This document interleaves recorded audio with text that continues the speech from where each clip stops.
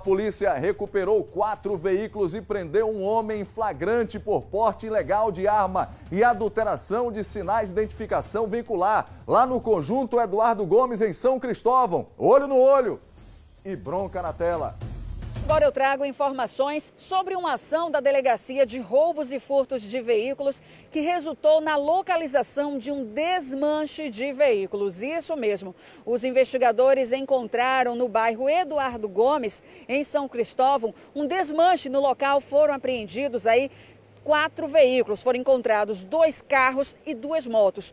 Um homem foi preso em flagrante. O cidadão estava no momento com a mão na massa, desmontando um veículo Gol que tinha sido roubado recentemente. Com este homem, os policiais também apreenderam uma arma. Ele foi preso também por porte ilegal de arma de fogo.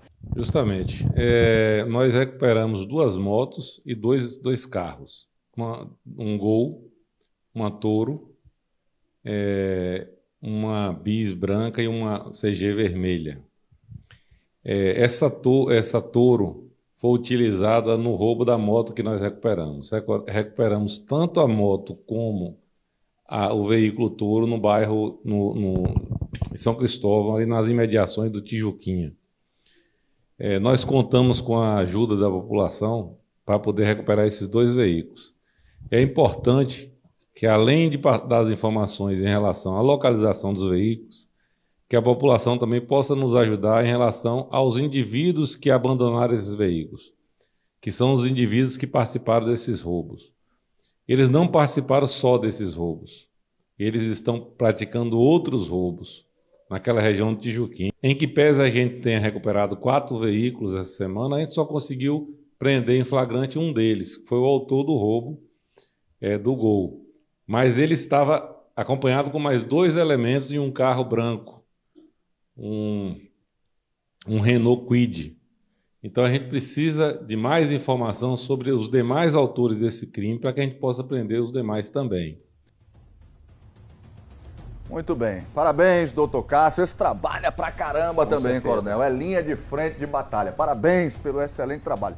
Às vezes nós não conseguimos falar o nome de todos, né? Eu gostaria de falar o nome de todos os policiais, comandantes, tenentes, a turma que está aí na linha de frente, é, dos delegados, mas nós não conseguimos. A partir do momento que nós temos as matérias, temos as informações, nós vamos, na medida do possível, sempre colocando em primeiro lugar num posicionamento diante daquilo que nós fazemos, privilegiar e dar moral sim para estes homens que estão trabalhando e defendendo a nossa população. Coronel Maurício Nunes. Sem dúvida alguma, Cláudio, e é bom ressaltar né, o pedido que o delegado faz no intuito que a população daquela região, né, de São Cristóvão, Eduardo Gomes, de Tijuquinha, possam colaborar com a polícia. E é de forma simples, simplesmente fazer o contato através do 181, não precisa se identificar, passe as informações aonde possivelmente tenha um carro produto de, de roubo, de furto, né? alguém que esteja transitando com um veículo dessa natureza, que não tem a menor dúvida. As informações vão chegar